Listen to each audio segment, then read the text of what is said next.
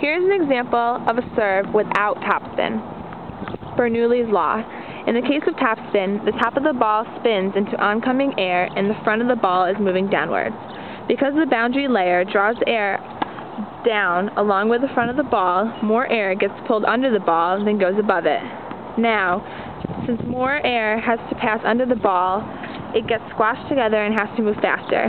This means there needs to be a higher velocity on the lower side of the ball and subsequently a lower velocity on the top of the ball.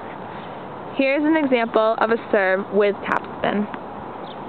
On the top side of the ball, this lower velocity creates a higher pressure, and at the bottom, the higher velocity creates a lower pressure.